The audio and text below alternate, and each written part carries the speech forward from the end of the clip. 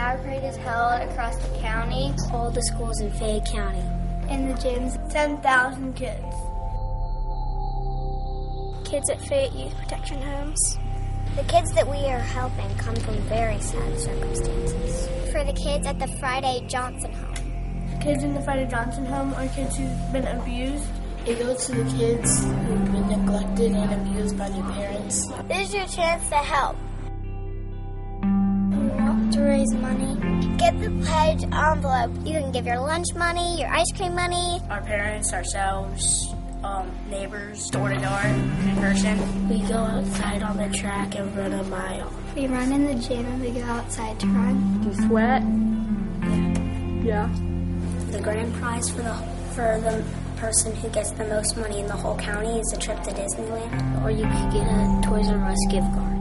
You want to win this. You get a trip to Disney World. Who doesn't like Disney World? There are lots of other good prizes too. This year, the Power Parade will take place in November. I'm gonna walk for the kids. Are you? Power up for kids! I'm gonna walk for the kids. Are you? When you help kids, especially in your own age, you feel like you've really done something good. Power up for kids. I'm gonna walk for the kids. Are you? I'm gonna walk for the kids. Are you? We are helping kids that don't have homes. I'm gonna walk for the kids. Are you? Are you? I'm gonna walk for the kids. Are you?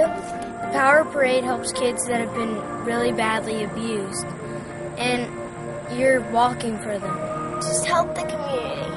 I like to walk and be for the kids.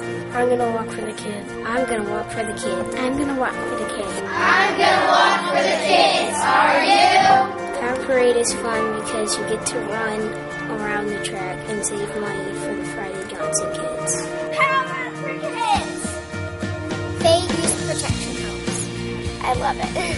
Power up for kids. Well, it really makes me feel really good to help other people that are my own age. And as they say, something small can make something big.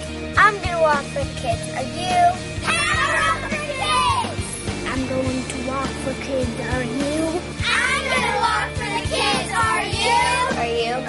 are you? How afraid need your help? Power up for kids! The golden rule mostly is treat others the way you want to be treated. So if you had things that you needed help, then wouldn't it be nice if somebody came up to you and said, Well, here, I can play with you. Here, what do you need? Something like that, and I get, I guess you would feel really good about it. Thanks for helping.